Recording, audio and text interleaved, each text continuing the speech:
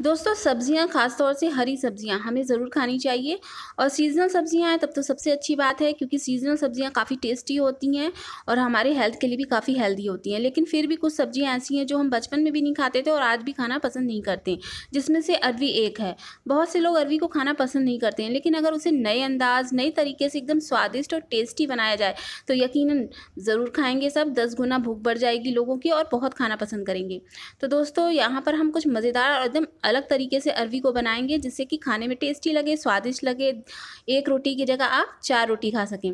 तो यहाँ पर हमने अरवी को अच्छे से धुल लिया था, उसका मिट्टी निकाल के धुल के इस तरह पतले पतले पीसेस कट कर लिए आप चाहें तो अपने मन चाहे पीसेस में इसे कट कर सकती हैं। इसके बाद दोस्तों, हम इसे कुछ मज़ेदार तरीके से बना रहे हैं तो इसमें हमने एक चम्मच दही ऐड किया है।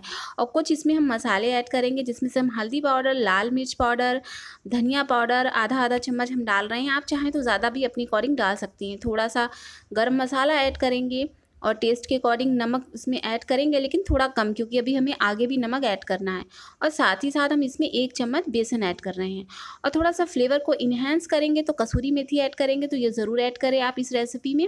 बहुत ही टेस्टी और मज़ेदार सी बनेगी ये रेसिपी तो इस तरह ऐड करने के बाद फिर इसे हम अच्छे से मिक्स कर देंगे, ताकि दोस्तों जो हमने इसमें मसाले ऐड किए हैं, दही बेसन ऐड किया है, ये सारी चीज़ें अच्छे से अरवी पे कोटिंग हो जाए। अंदर तक मसाले भिन जाएँगे तो रेसिपी बहुत टेस्टी बनेगी।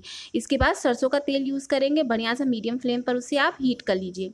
सरसों में इस रेसिपी को बनाइएगा दोस्तों, सरसों बहुत हेल्दी होता है हेल्थ के लिए और काफ़ी अच्छी और मज़ेदार सी, स्वादिष्ट सी इसकी सब्ज़ी बन के रेडी होगी। तो सरसों का तेल जब गर्म हो जाए तो उसमें एक पिंच हींग और आधा चम्मच ज़ीरा ऐड कीजिए और एक मीडियम साइज़ का प्याज अच्छे से बारीक कट करके आप इसमें गोल्डन ब्राउन होने तक मीडियम फ्लेम पर अच्छे से फ्राई कर लें।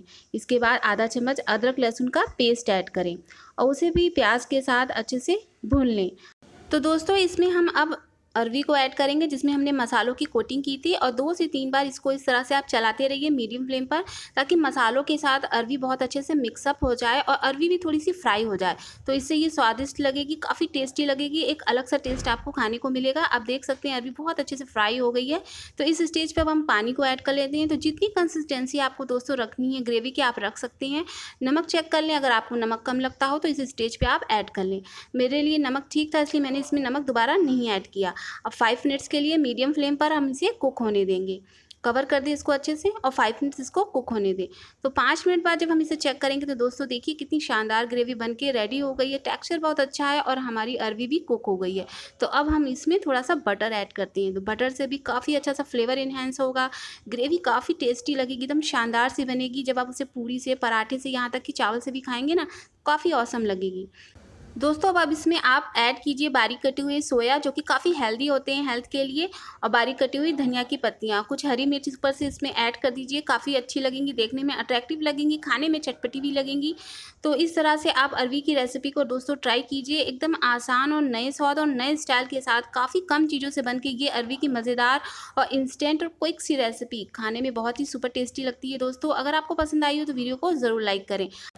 और दोस्तों, मुझे सपोर्ट करने के लिए मेरे चैनल को सब्सक्राइब करना बिल्कुल ना भूलें। अपने फैमिली फ्रेंड्स के साथ भी इस रेसिपी को ज़रूर शेयर करें, ताकि वो भी इस मज़ेदार, चटपटी सी और इंस्टेंट बनने वाली अरवी की रेसिपी को ट्राई कर सके।